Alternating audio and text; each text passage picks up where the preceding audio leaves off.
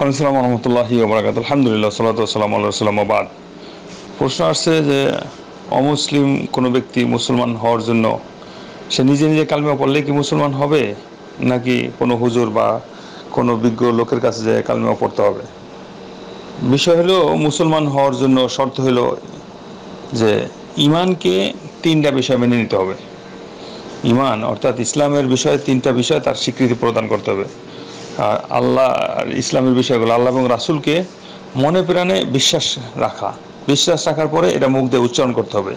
এই জন্য তো উচ্চারণের ক্ষেত্রে বলতে হবে, আশহাদু আল্লাহ ইলাহিল্লাহু ও আশহাদু আন্না মুহাম্মাদান আব্দুহু রাসূল এই জন্য কালিমা শাহাদা সাক্ষ্য দিতে হবে বাস্তবে, একদম মুখ দিয়া। বাস্তব ফিল্ডে মুখ দিয়ে বাইর করতে হবে কালিমা।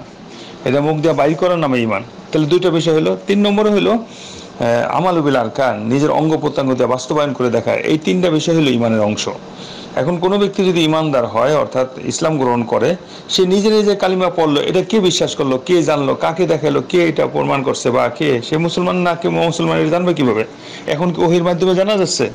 এটা উপরিভাবে, জহরিভাবে মানুষ জানতে হবে যে সে মুসলমান হয়েছে। এই জন্য নির্ভরযোগ্য এক ব্যক্তির মাধ্যমে সে মুসলমানের সাক্ষ্য দিবে, সাক্ষ্য প্রমাণ দিবে।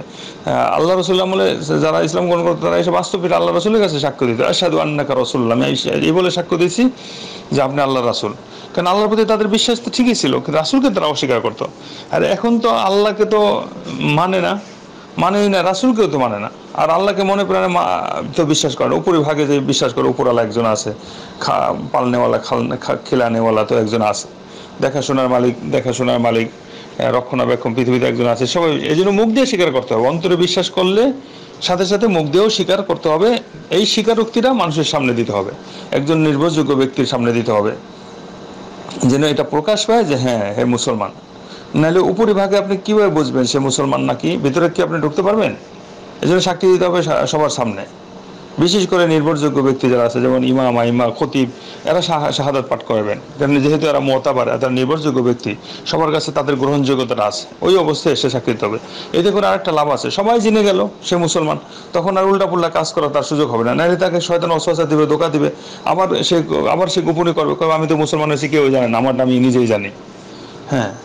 তখন দেরি করতে অস্ত্র ফিল্ডে ফিল্ডে তার জানতে হবে। মানুষের কাছে প্রচার হইতে হবে। মুসলমানের মাঝে প্রচার, হিন্দুদের মাঝে প্রচার এটা জরুরি নয়। তারপর আরেকটা বিষয় আছে। সে যখন ইসলামের কাজকর্ম করবে, ইসলামের সাথে সব কিছু ইসলামের হক আদায় করবে, একটু যদি গোপন থাকে তাহলে মুসলমানরা কীভাবে জানবে সে মুসলমান হয়েছে ইসলামের গোপন টোপন ইত্যাদি সকল বিষয়? তার মধ্যে বাস্তবায়ন করা, শিক্ষা দীক্ষা নেওয়া, বা মুসলমানের সাথে চলাফেরা, মুসলমানের ইসলামের ইসলাম ও মুসলমানের যেগুলো হক আছে সেগুলো আদায় করা, সে নাইলে মানুষ কীভাবে জানবে? এখন যদি সে গোপনে কোনো ইসলাম গ্রহণ করে, কেউ না জানে, সে যদি মারা যায় তখন তাকে কে জানাজা পড়াবে? কে তার দেখাশোনা করবে? তার বিবাহের সাথে বিষয় আছে, দেখাশোনার বিষয় আছে, পারিবারিক অর্থনৈতিক, সামাজিক, সকল বিষয়ের সাথে ইসলামের সকল বিষয় সম্বন্ধ আছে। তাহলে মানুষ মারা সে মারা গেলে তো জানা যাওয়া পড়তে যাবে না। মানুষ জানবে কীভাবে সে মুসলমান হয়েছে? হ্যাঁ? এই সমস্ত কথার প্রশ্ন কোথা থেকে আসো? এই এই বিষয়গুলো পরিষ্কার থাকতে হবে। আরও কত বিষয় আছে? এই জন্য ইসলামের কোনো গোপনীয়তা নেই। ইসলাম প্রকাশ্য। সব কিছু উপরে, ভিতরে ইসলাম থাকবে প্রকাশ মান, দৃশ্যমান থাকবে। সবার কাছে একদম কি থাকবে? মানে সবার কাছে দৃশ্যমান থাকবে, সবার কাছে বিষয় জানা থাকবে, কেউ কাছে যেন কোনো বিষয় গোপন না থাকে। ইসলামের মধ্যে কোনো লুকোচুরি বাটপারে প্রতারণা থাকবে না। ভিতরে উপরে সব থাকবে পরিষ্কার।